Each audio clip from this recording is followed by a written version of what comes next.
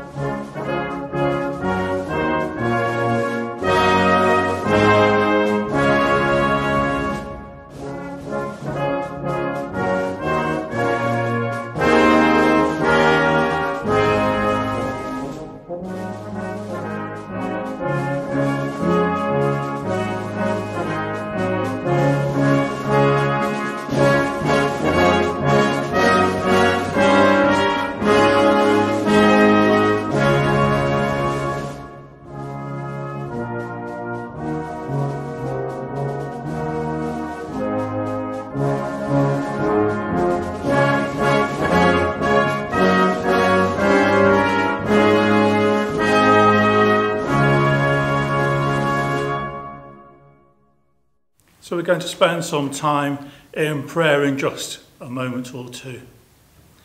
And again, this is a week when I'm sure there are many people and many situations we would like to be praying for, people who we want to see come to better health or into a saving knowledge of Jesus or for whom we have all kinds of concerns. But it's also a time for us to come and worship God. And as we spend some time in prayer, we're going to, to have another song, 369 if you're using a song. And it says, I love you, Lord, and I lift my voice. It's just a reminder that whilst we're coming to ask God for things, we're also coming to remind God, to tell God that we love him as well.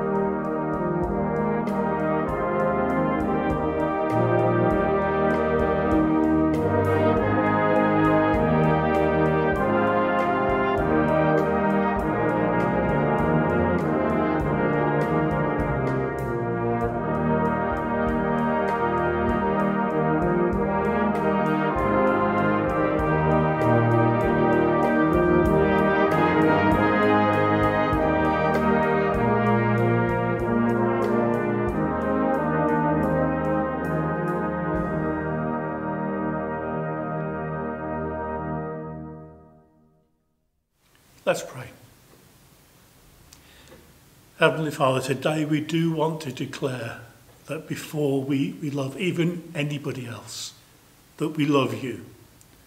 Because you have first loved us and you've shown us what love is. But today, Lord, we want, also want to remember those who we love, some of whom we've lost, and some of whom we have concerns for and cares for, for health, for their financial situations, for their mental health, for all kinds of things that people are going through. Lord, those people who we've been thinking of, who are on our hearts, and for whom we are concerned, Lord, we lift them up to you today. Let them be assured of your love and your care and your grace and your mercy. And as we continue to worship you just now, we pray that it will be centered on our love for you, but even more so on your love for us. We pray all that in the name of Jesus and by the power of the Holy Spirit. Amen. So, as I introduced last week, this is uh, in February. Is that? I'm going to start the after prayer bit again. So, as I mentioned last week, uh, we've come into February, which for Salvationists is a particular uh, time to think about our giving and our work in other parts of the world, and a time when we give to our work in overseas. In three weeks' time, we'll be having our virtual self-denial altar service. And self-denial is a time when we choose to deny ourselves of something in order to use that money to give to our brothers and sisters in Christ in other parts of the world. Now, each year we have a number of videos that show us something of where this will help, this, where this will go to help others.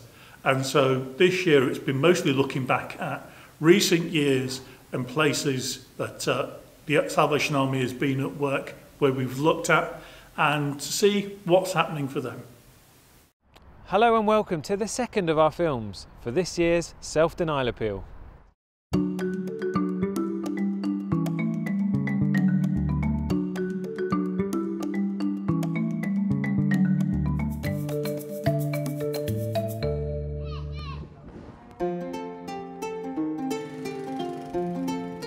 This year, we're revisiting some of the people and places we've featured before in a moment, I'm going to be talking to Nana Togo.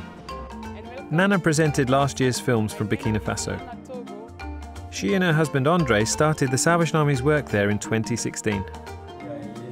They began as just eight Salvationists, but when we visited, there were 182 senior soldiers and 36 junior soldiers from two corps and two outposts. While we were there, we saw 20 senior soldiers and 9 junior soldiers being enrolled. We saw how the Salvation Army has been helping people who are struggling. Women from the local community have learned to read and write, and to sew and to dye cloth.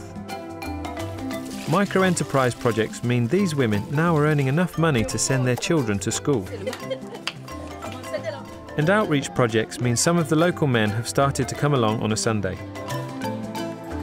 So I'm going to get in touch with Nana and find out how she and Andre are getting on. Hi, Captain Nana Togo. Nice to meet you. Ça va?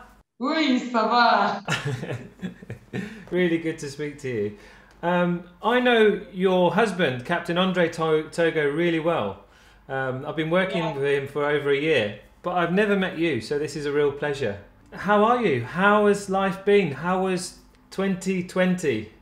We are doing well. I'm doing well with my husband and uh, our two kids life in uh, 2020 has not been easy. It has been very challenging. But still, we thank God for His grace, which has been sufficient through this uh, difficult time.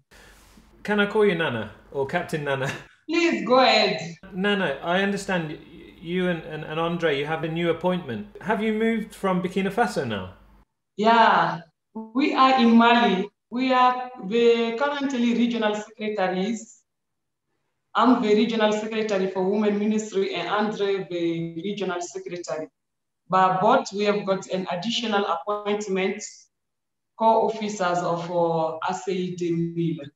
How has the pandemic uh, affected the Ministry of the Salvation Army in the region? Because we, when we read the statistics for Burkina Faso and Mali, the, the, the death count is relatively low, but the economic impact seem to be seems from what you're saying is quite large. Is that correct?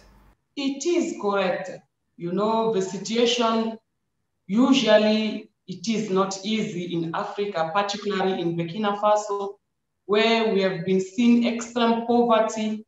Mm. And when the, this pandemic of COVID-19 came, the situation became worse as well in Mali. You know, people don't have access to uh, these elementary needs, and it is very difficult. Churches as well have been affected, even schools in all areas. Everybody is affected by this pandemic. The community project we have been uh, working with uh, in Burkina Faso, there were so many ladies. Most of them, sorry, have been stopped also because of this pandemic, issue like juice production, soap making. But uh, we also thank God through the Salvation Army always we manage to still meet some need of the people and we thank God for that. One of the things we've been able to partner with the Mali region on this year is to fund um, uh, with you a project vehicle. Can you tell us the impact the project vehicle has had? We have got so many remote areas in Mali that it wasn't easy at all. Mm. But now we are really relieved from that burden of not being able to, to, to visit our communities. At any time, the vehicle is moving, even from Mali to Burkina Faso, doing the community work. We are really grateful for that. And, um, and what about uh, you, Nana? What have you been learning from 2020 in your own life? People always thought that, you know, to show love to each other, we just have to be together, sit together, fellowship together. And through this coronavirus, I have learned that it is not necessary, it is not an obligation to be physically present, you know, to demonstrate your love. Even though we can be a, absent physically, but in mind through practical actions still we keep that bound, you know, of humanity we share together. Thanks for your inspiration to us in the United Kingdom and Republic of Ireland, and um, God bless you. Okay, thank you very much to you too, Benjamin, and uh, be assured of how our prayer support. We are praying for you day and night. You are in our mind and uh, thought in our heart. May the Lord keep on visiting you individually and as a territory as well. Thanks so much. Bye, Nana. Bye. in next week's film, I'll be talking to Richard Bradbury, who's serving in Bangladesh. So now we're going to have our Bible reading for today, which today is taken from John chapter 15 and verses 1 to 17. So that's John chapter 15 and verses 1 to 17. I am the true vine, and my Father is the gardener. He cuts off every branch in me that bears no fruit, while every branch that does bear fruit he prunes, so that it will be even more fruitful. You are already clean because of the word I've spoken to you. Remain in me, as I also remain in you. No branch can bear fruit by itself, it must remain in the vine neither can you bear fruit unless you remain in me. I am the vine, you are the branches. If you remain in me and I in you, you will bear much fruit. Apart from me, you can do nothing. If you do not remain in me, you are like a branch that is thrown away and withers. Such branches are picked up, thrown into the fire, and burned.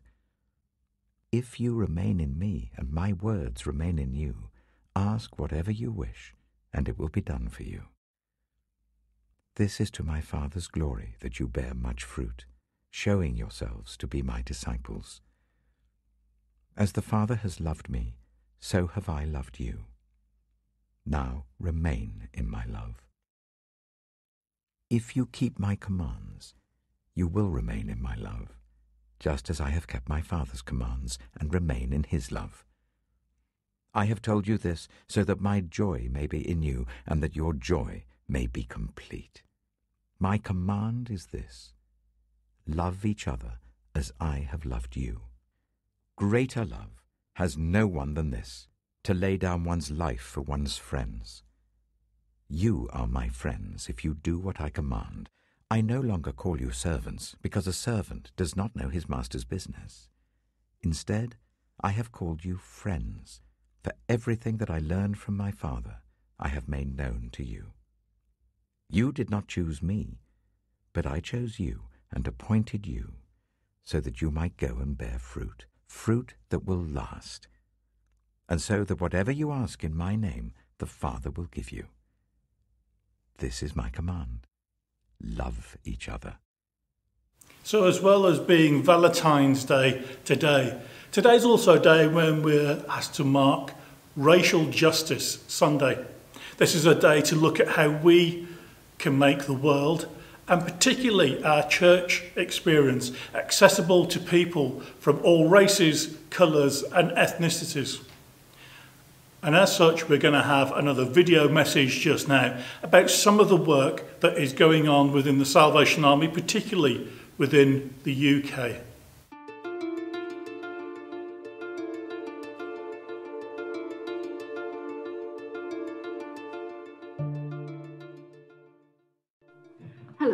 Colonel Janine Main and I'm the Territorial Secretary for Leader Development and I work at Territorial Headquarters.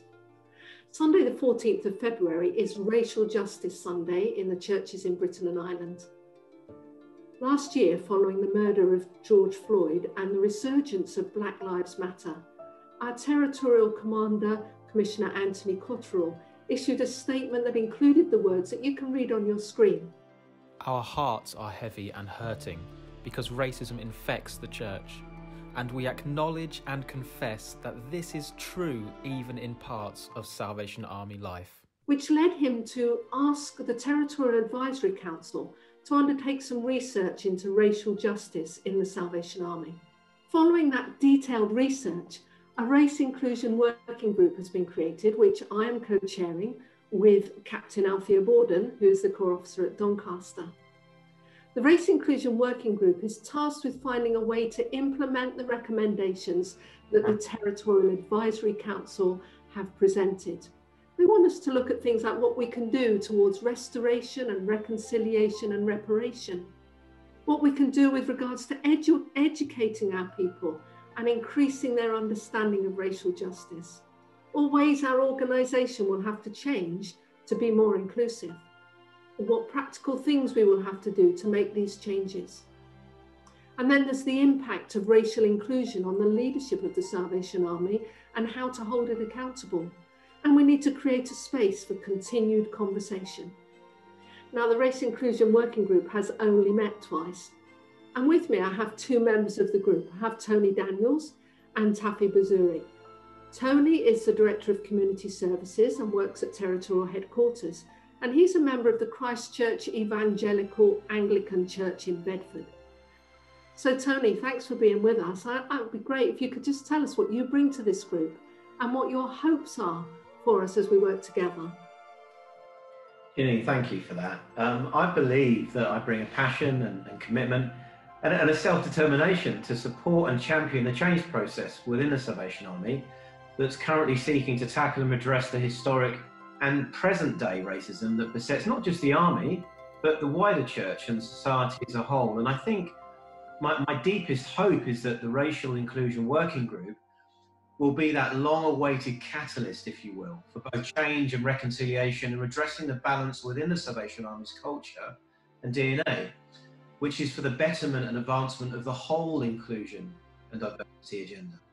Thanks, Tony. That's that's great. Thank you for contributing, for being part of this little video today, and, and I'm really grateful that you're part of this group. We're also pleased to have a younger voice from Taffy. And so, Taffy, what, what are your hopes for this group? Hi, hi, Janine. Um, my name is Taffy Vizure, and I soldier at uh, Old Hall. I hope to bring new and creative ways to embrace and include uh, different nationalities within the Salvation Army. And having been raised in the Salvation Army as part of a minority, I hope to shed some light on how inclusive it has been for some of the soldiers I engage with.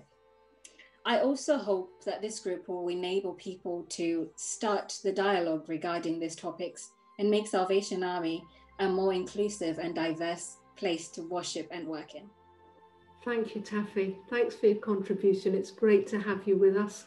Great for a younger voice to be on our group. There are other about 13 members of this group, and, and we just hope that we're going to be able to work towards uh, confronting and fighting racism wherever it's found.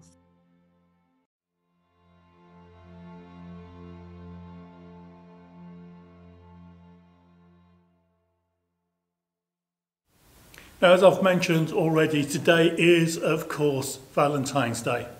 It's a day for love, it's a day for romance. But what if love isn't just about romance? What if love is actually something much harder than that, something much more difficult? Or maybe even what if love is something actually much better than just mere romance? So I will talk about love today, but with a realistic outlook about what that really means. And that won't mean that romance is dead and it won't mean that it isn't love as you know it, but I think it will be better than love as maybe as we often think about it. So I'm going to suggest that we do away with the false, fluffy clouds and rainbow ideas about what love is.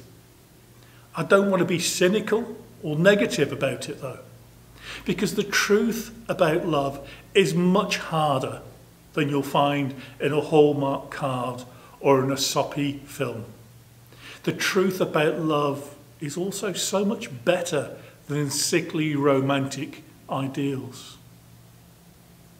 Now, the first half of this reading about Jesus as the vine says a lot about remaining, remaining in him. And this applies just as much when it comes to love. As Jesus said, As the Father has loved me, so I have loved you. Now remain in my love.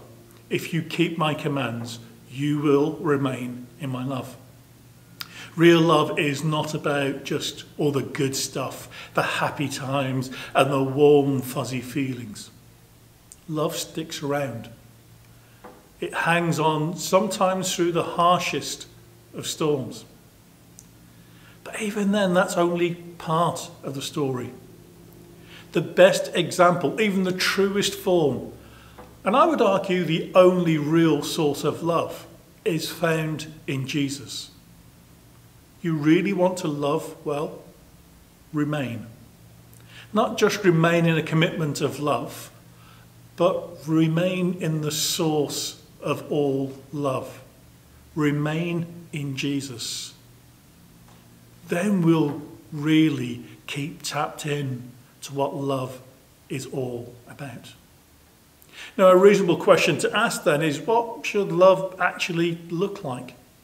If it isn't about the warm, fuzzy feelings or receiving the pleasure of another's company, then what is it all about? Well, Jesus said, My command is this love each other as I have loved you. You want to see what a life of love looks like? Look at Jesus. If you want to know what the loving thing to do would be, look at Jesus. If you want to know if it's possible to love when all you feel is hurt, look at Jesus. This is a love that doesn't seek its own ends. It's a love that looks out for the best in others. It's a love that is inclusive of all, regardless of how deserving you might think they are. Now, if you know how Jesus loves you, bad as you are, or indifferent as you are, and and failing as we often are, then use that as your guide for loving others. But this also comes with a warning, because this kind of love, this true kind of love, comes at a cost. Now, if there is one point, one major aspect of love to take away today, it is this. Love is much more about what you give than what you receive. That means that love will always incur a cost. Or maybe just at least a risk of significant cost. Now, I'm going to say there is a cost worth paying because love is a love worth loving. And once again, we see it's not just in the words of Jesus, but in his actions too. And he predicts this in this passage of Scripture. When he says, Greater love has no one than this, than to lay down one's life for one's friends. This coming Wednesday, the church as a whole begins a time that we call Lent a time of reflection. For many, it's a time of giving things up, or maybe for taking things up, all based on Christ's sacrificial and selfless love.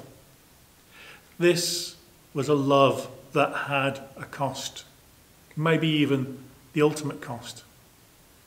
And I hope that you'll agree that this was a, a cost that was worthwhile, because it's a cost that saved us. Jesus saw us and decided that we were worth the cost. Now, you may be wondering by now if you could ever really manage such a high standard of love, and that's a reasonable question. But with love comes forgiveness and a will not to give up, to keep on trying, because none of us will do it perfectly, and nobody else will do it perfectly for us. But not only that, it's not just about what you do to love. It's about what we do. A reminder that Jesus said, My command is this love each other as I have loved you. Jesus repeated himself again later on to make sure that we understand the point. This is my command love each other. Now, other translations use the phrase one another. Love one another. In either case, it makes it clear that we cannot and we should not try to keep it all up purely as a personal effort. I've got to keep on loving people regardless. I've got to keep on doing this. I've got to keep on doing that. We can and we should work on loving one another with one another. That's the whole point of that phrase. That means that we tolerate each other's differences, their quirks, let's face it, the plain old annoying habits. Because I'm sure I'm not the only one who has annoying habits. And when I see them in other people, I kind of figure, well, I can't be any more annoying than I am. That means that we pick up the slack when others are struggling. It means that none of us are too different to be excluded from this either. So, this Valentine's Day, let's choose to love. And that's going to begin by remaining in the source of all love in Jesus. To acknowledge by our decisions that Jesus shows us how to love, so then we love like he did. It does mean that there will be a cost, but we are worth it. And so is anybody else we are called to love. Love is worth it. But most of all, let's determine to do this together, to love one another. To love like Jesus loved. Going to have a song that reminds us of that. And as you remember, Jesus' love for us. And think about how we can share that love and express that love in our own lives. If you're using your Salvation Army songbook, it's 169. Here is love, vast as the ocean.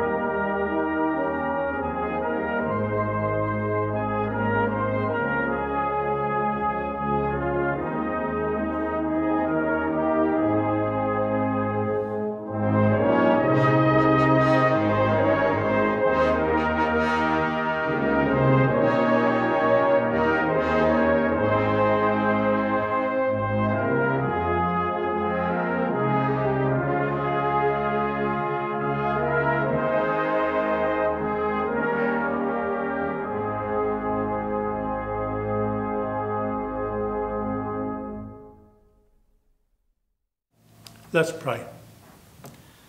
Heavenly Father, we can only thank you for the way in which you have shown us sacrificial love, in the ways in which you have done everything to love us and to care for us and to bring us together in your love. Help us be worthy of that. Help us make those tough decisions to handle those difficult relationships and to keep loving as you have loved. Pray that in the name of Jesus. Amen. So now in closing, let's have one last song together. In the Salvation Army songbook, it would be 262. Love divine, all loves excelling. It's a celebration of God's love in Jesus, and it's also a determination for us to live it out as well.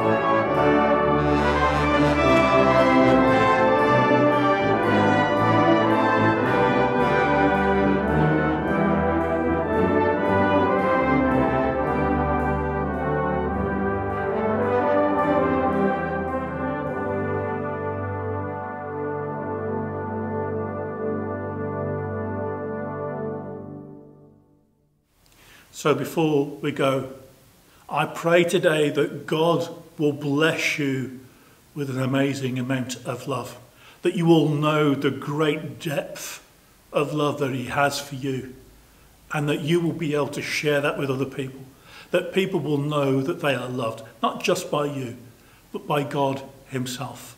A love that was willing to do everything to make that a reality. And I pray that in Jesus' holy name. Amen.